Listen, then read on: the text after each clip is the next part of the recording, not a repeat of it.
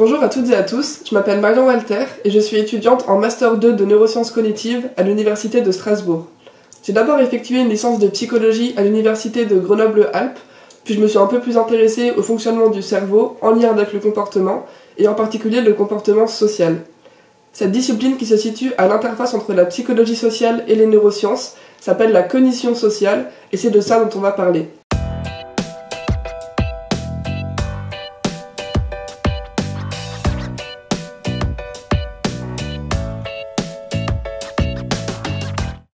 Comme Aristote l'avait déjà dit il y a bien longtemps, et comme j'imagine vous le savez déjà, l'homme est un animal social. Par contre, je pense que vous ne réalisez pas à quel point cette phrase est vraie et tous les domaines auxquels elle peut s'appliquer. Par exemple, si je vous disais que vos proches peuvent entre autres vous permettre de réguler votre température corporelle. Effectivement, cette fonction biologique qui est nécessaire à la survie de très nombreuses espèces dont nous faisons partie est remplie entre autres par les personnes de notre entourage.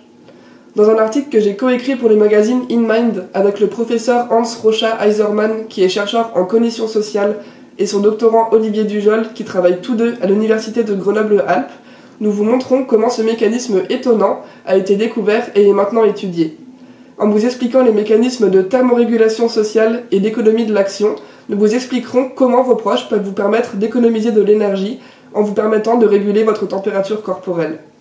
Si nous avons piqué votre curiosité, vous pouvez donc lire cet article dans le magazine In Mind, et si ça vous intéresse, vous pouvez également lire le livre écrit par le professeur Rocha Eiserman qui s'intitule Heartwarming, ce qui signifie qui réchauffe le cœur.